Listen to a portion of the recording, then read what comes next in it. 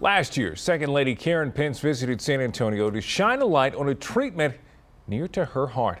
Eyewitness News reporter Ashley Speller sat in on the program to take a deeper look into how it's helping children with cancer heal.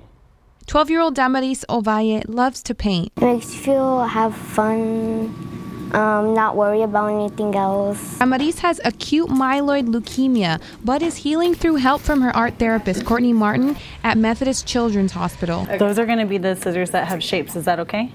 We see kids as young as two, pretty much if they can hold a pencil or hold a paintbrush, we're doing artwork. The requirements to become an art therapist are very similar to a mental health counselor. Really just incorporate art as a therapeutic tool within the counseling sessions.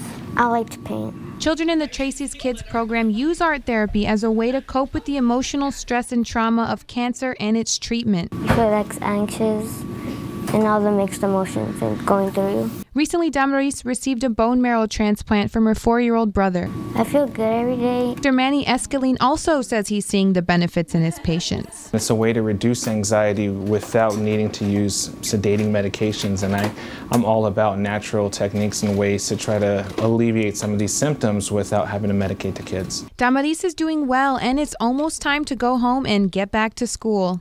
I'm going to seventh. Going, oh, wow, already? Yeah, that's great. Are you excited? No. Do you, no? She also wants to give a special shout out. My, fa- okay. my family, I would like to say hi. Ashley Speller, KENS 5 Eyewitness News.